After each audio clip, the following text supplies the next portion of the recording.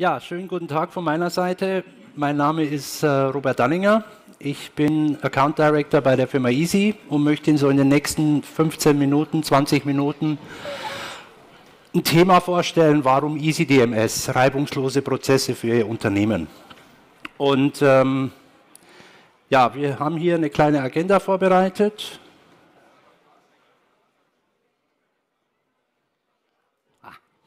Genau, ich möchte ganz kurz Ihnen so ein paar Worte zu Easy verlieren, damit Sie wissen, wer wir sind. Falls Sie uns noch nicht kennen, dann ganz kurz die Herausforderungen im Unternehmen, die wir tagtäglich, äh, speziell jetzt auch im Vertrieb natürlich konfrontiert werden. Was beschäftigt unsere Kunden, was beschäftigt die Interessenten? Kurz die Lösung vorstellen. Lösung im Sinne von PowerPoint, natürlich keine Lösung. Jetzt dafür sind 14 oder 15 Minuten einfach ein bisschen zu wenig. Ja, und zu guter Schluss dann die nächsten Schritte. Was wären möglich? Wie könnte man die nächsten Schritte miteinander gemeinsam eben vereinbaren? Kurz zu Easy. Die Easy, deutsche Softwareunternehmen, gegründet 1990, also schon etwas länger auf dem Markt, seinerzeit mit einer reinen Archivlösung das heißt, die Kunden und Interessenten wollten einfach Dokumente revisionssicher archivieren. So ist die Firma Easy seinerzeit entstanden. Vielleicht so für Sie auch. Easy steht auch hier für elektronische Archivierungssysteme. Es passt halt auch eben, weil Easy eben auch ein sehr ja, prägnanter Name fürs Unternehmen und die Produkte ist.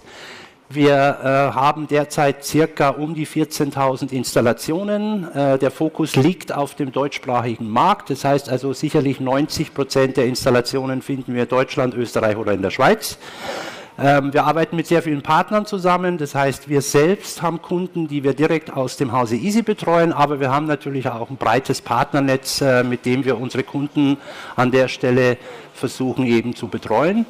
Hier noch ein paar Auszüge zu ein paar Kunden, namhafte. Wir sind in allen Branchen unterwegs. Das heißt, wir machen Industriekunden, wir machen Handelskunden, wir machen auch Dienstleistungen und vor allen Dingen auch von der Größenordnung her haben wir Kunden wirklich im klassischen KMU-Bereich, aber haben auch sehr große Kunden, teilweise im DAX notierte Kunden, die unsere Software nutzen. Das heißt also, das Spektrum ist an der Stelle sehr weit und wir haben uns keiner einzelnen Branche oder Größenordnung hier zugeschrieben. Herausforderungen in Unternehmen, ganz wichtiger Punkt. Was stellen wir in den letzten ja, Monaten, Jahren fest? Ich denke, wenn Sie auf Ihr Unternehmen gucken, gibt es dort sicherlich ein paar deckungsgleiche Aspekte. Wir haben natürlich immer mit einem sehr hohen äh, Verwaltungsaufwand äh, ähm, zu tun. Dann sind es sehr zeitintensive Prozesse. Das heißt, es geht sehr viel Zeit ins Land, um bestimmte Abläufe im Unternehmen eben durchzuführen. Ganz wichtiger Punkt an der Stelle die fehlende Transparenz. Das heißt, ich bin als ja, Ansprechpartner sehr schwierig in der Lage, Informationen gegenüber Partnern, Kunden, Lieferanten zu geben. Das ist ein Thema, was sehr stark auch immer genannt wird als einer der Punkte. Es kommt tatsächlich immer wieder mal vor, dass Fristen verpasst werden. Das heißt also, Kunden beklagen darüber, dass sie einfach Fristen verpassen, Verträge automatisch verlängert werden, die vielleicht besser gekündigt hätten werden sollen. Die Mitarbeiterzufriedenheit ist an der Stelle natürlich auch zu erwähnen und als letztes das Thema der Kostenoptimierung. Das sind so die klassischen Herausforderungen, die wir heute tagtäglich in den Gesprächen mit unseren Kunden und Interessenten erfahren. Und dafür haben wir Antworten. Wie sieht die Lösung aus? Ganz einfach. Sie sehen hier auf der rechten Seite, von Ihnen aus gesehen linken Seite, als Beispiel mal so eine Projektakte und auf der rechten Seite eben ein Feld mit Import. Das ist eigentlich alles, um was es geht. Das heißt, wir haben unterschiedlichste Quellen in Unternehmen, ERP-Systeme, Mail-Systeme, Office-Systeme, CAD-Systeme, ganz normale File-Archiv-Server-Systeme und überall auf diesen Systemen gibt es Dokumente und Daten. Und wir mit unserem Easy DMS gehen hin und nehmen diese Daten und strukturieren sie in zum Beispiel, das ist jetzt nur ein Beispiel, in einer Projektakte. Das heißt, wir übernehmen nicht nur die Dokumente, sondern wir übernehmen auch die Metadaten. Das heißt, wir archivieren an der Stelle nicht reine Dokumente, sondern auch Daten und haben hier natürlich die Möglichkeit, dann in Projektakten eine Struktur hinterzulegen, zu hinterlegen, die in etwa der Akten entspricht, wie Sie sie heute vielleicht in Papierform kennen. Und der Vorteil an der Stelle ist ganz einfach der, dass wir sagen, unsere Mit oder unsere User, die mit dem System arbeiten, wenn sie heute Dokumente oder Daten suchen, dann ist es für sie völlig sekundär zu wissen, wo diese Daten liegen. Sie müssen einfach nur diese Information eingeben und sie finden auf jeden Fall das Dokument und auch die dazugehörigen Daten. Dahinter befindet sich natürlich ein Workflow, hier auch ein ganz einfacher Workflow. Wirklich, ich habe einen Posteingang. Der Posteingang ist teilweise noch eben herkömmlich postalisch, das heißt per Papier. Es gibt aber immer mehr natürlich auch den digitalen Posteingang. Äh, wir stellen fest, dass jetzt auch hier in Deutschland der digitale Rechnungsversand als Beispiel deutlich zunimmt. Wenn wir vor zwei, drei Jahren noch ein Verhältnis hatten von 20 Prozent digital und 80 Prozent per Papier, dann fängt das jetzt langsam an zu drehen, dass wir wirklich uns auch in Bereiche befinden, wo viele Unternehmen sehr viel an digitalen Eingängen bekommen, was natürlich in der Zukunft noch stärker zunehmen wird und irgendwann das Papier, ich weiß nicht, ob es es gänzlich verdrängen wird, aber zu, sicherlich zu einem sehr großen Teil. Dann wird es eben nach dem Posteingang verteilt und dann kommen bestimmte Prozesse, dann bekommen bestimmte Ansätze, da komme ich später gleich nochmal drauf, die dann eben mit diesen Dokumenten und Daten passieren. Ja, und zu guter Letzt landen sie dann eben in einem Archiv, das heißt in einem Langzeitarchiv, wo dann auch revisionssicher diese Dokumente und Daten abgelegt werden. Revisionssicher bedeutet an dieser Stelle halt eben, sie können nicht mehr verändert werden, weil wir natürlich gegenüber dem Gesetzgeber bei bestimmten Dokumenten dort auch an der Stelle Rechnung tragen müssen.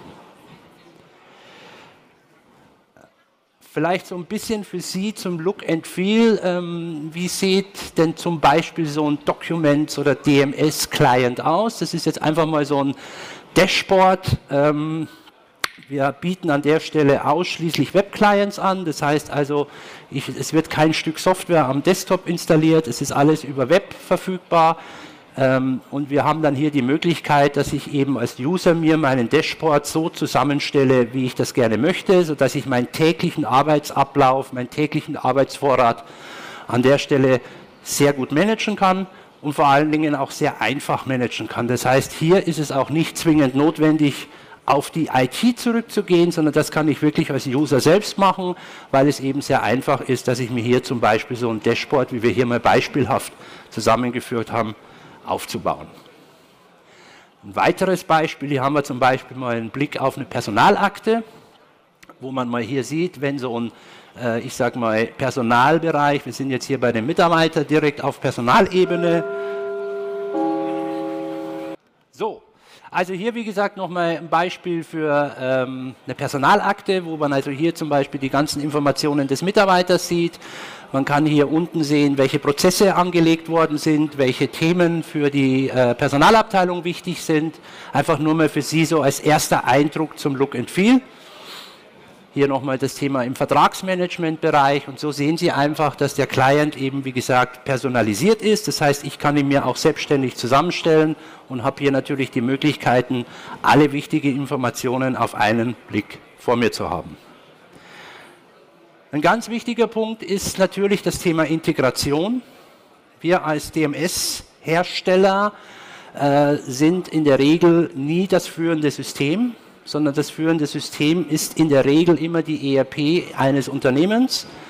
Und daher ist es für uns natürlich auch wichtig, dass wir dort mit den namhaften Herstellern weltweit ähm, Partnerschaften, Technologiepartnerschaften haben um hier unseren Kunden und Interessenten standardisierte Schnittstellen und Konnektoren anzubieten. Ich will nur mal zwei hervorgreifen, Microsoft und SAP, denke ich mal für jeden hier im Raum bekannt. Hier ist es so, dass wir zertifizierte Schnittstellen anbieten, das heißt, diese Schnittstellen wurden von den Herstellern auch zertifiziert.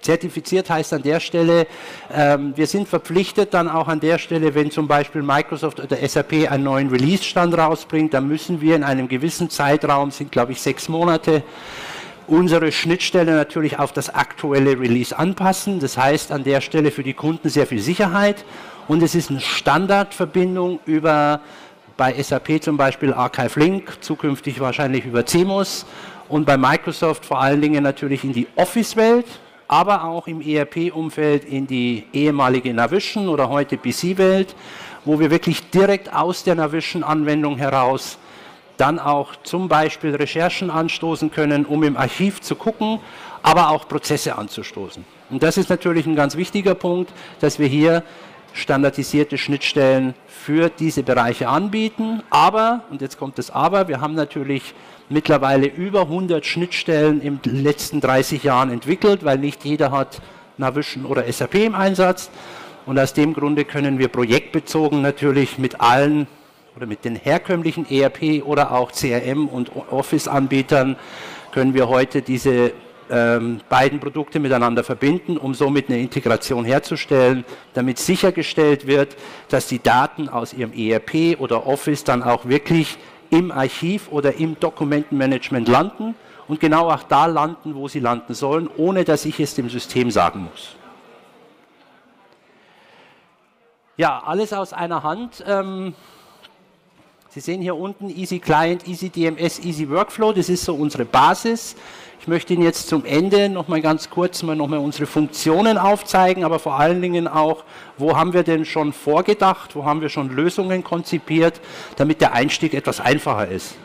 Natürlich unsere Standardfunktionen, Archiv, Workflow, Dokumentenmanagement. Das ist das, mit dem wir uns tagtäglich beschäftigen. Das sind unsere Produkte, unsere Tools, die wir den Kunden zur Verfügung stellen. Hier im Beispiel Workflow arbeiten wir seit Anfang an mit einem Visualisierungstool von Microsoft, nämlich Microsoft Visio. Das heißt, mit Hilfe von Microsoft Visio erstellen wir gemeinsam mit unseren Kunden deren Prozesse, visualisieren sie und übergeben sie dann in unser DMS-System, ohne dass programmiert werden muss. Hat den Vorteil, dass natürlich viele unserer Kunden, nachdem sie ein, zweimal mit uns so einen, ja, ich sage mal, Visualisierungsprozess mitgemacht haben, selbst in der Lage sind, im Visio dort Prozesse entweder zu ändern oder sie auch an der Stelle neu zu erstellen, ohne immer auf ihren Systempartner zurückgreifen zu müssen. Und das machen wir eben in dem Bereich mit Microsoft Visio. Neben den Standardfunktionen haben wir natürlich Lösungen konzipiert. Lösungen speziell jetzt in den Bereichen Purchase to Pay, also wenn es wirklich von der Bestellanfrage bis hin zur Verbuchung einer Eingangsrechnung nicht nur den Bereich Invoice, sondern auch gerne, wenn man möchte, das Thema davor. Aber wir haben natürlich auch für das Thema Vertragsverwaltung, unser Easy Contract oder Personalakte von sehr vielen Kunden auch nachgefragt, sodass wir also hier Lösungen aufgebaut haben, mit denen wir bei unseren Kunden nicht bei Null anfangen, sondern wirklich schon einen Stack gemacht haben und damit natürlich nicht auf der grünen Wiese starten, sondern mit dieser vorkonfigurierten Lösung schon große Teile standardisiert mit abdecken können. Das Ganze kann man natürlich erweitern. Ich will jetzt hier die einzelnen Themen nicht vorlesen. Ich möchte nur auf ein Thema hinweisen. Ähm, seit einigen Monaten kommt immer stärker auch die Nachfrage nach Portallösungen. Das heißt also, wie kann ich Mitarbeiter, Kunden, Lieferanten stärker an mich binden? Wie kann ich ihnen die Möglichkeit geben, nicht nur auf Dokumente zuzugreifen, sondern vielleicht sogar an Prozessen teilzunehmen. Und das nutzen wir eben mit Portallösungen. Dort haben wir für diese drei Bereiche eigene Portallösungen entwickelt, wo der Kunde dann die Möglichkeit hat, seine Lieferanten und Kunden, aber auch Mitarbeiter eben gezielt mit Informationen zu versorgen, mit Dokumenten zu versorgen, aber sogar an Prozessen teilzunehmen. Das heißt, ich kann zum Beispiel als Mitarbeiter einen Prozess starten, Urlaubsplanung oder Urlaubsantrag. Das macht man dann, kann man über ein Portal eben an der Stelle lösen. Ja, und hier natürlich zum guter Schluss die Bibliotheken. Ich hatte es vorher angesprochen. Office ist auch ein ganz wichtiger Punkt. Wir haben eine komplette Office-Integration. Das heißt, im Office selbst gibt es ein Add-in Easy, wo Sie dann eben in allen Office-Produkten die Dokumente eben kurz verschlagworten und sie ins Archiv legen. Wir haben natürlich auch im Navision zum Beispiel eine Drop Zone, wo ich wirklich auch per Drag and Drop innerhalb Navision das Ganze archivieren kann, weil Office einfach ein Thema ist, was sehr viele Kunden natürlich heute im Einsatz haben und es auch sehr viele Dokumente gibt, die vielleicht von der Rechtsgeschichte her nicht so interessant sind, die für Sie als Unternehmen aber wichtig sind, weil sie zu einem Projekt oder zu einem Kunden vielleicht gehören. Ja, was sind die Vorteile? Die Vorteile sind ganz einfach, dass die Prozesse deutlich schneller werden. Ähm, die Teams werden tendenziell an der Stelle auch effizienter. Business wird mobiler, wir sind alle mobil, wir arbeiten alle mit Smartphones. Das heißt, auch heute ist es so, dass wir im Invoice-Bereich zum Beispiel die Möglichkeit haben, den Kunden über eine App, über ein Smartphone Freigaben zu erteilen, wenn das gewünscht ist für eine Rechnung, wenn man unterwegs ist. Ähm, dann wird das Unternehmen natürlich unterm Strich auch sicherer. Nichts wird mehr vergessen. Das ist ein ganz wichtiger Punkt, dass alles eben auch archiviert wird an der Stelle. Ja, und das Know-how bleibt natürlich an der Stelle auch im Hause erhalten. Ja, zum Schluss, ich habe gesehen, ich muss noch, eine Minute habe ich nur noch mehr, die nächsten Schritte. Ja, wir befinden uns gerade im Bereich des Vortrages. Ähm, sehr gerne bieten wir Ihnen einen individuellen Termin an. Wir sind auch hier vertreten am Stand R7. Also wenn Sie danach noch weiter intensive Informationen möchten, kommen Sie gerne auf uns zu. Ansonsten machen wir auch gerne mit Ihnen einen Termin und sprechen mit Ihnen individuell über die Thematik. Ja, dann folgt darauf in der Regel ein Workshop, dann wird es umgesetzt und am Ende gehen wir dann go live. So, jetzt bin ich ein bisschen durchgehechelt. Ich hoffe, das war für Sie dennoch ein bisschen kurzweilig und nachvollziehbar. Ich möchte mich für die Aufmerksamkeit bedanken und ja, wünsche Ihnen noch einen informativen Tag hier in Frankfurt. Danke.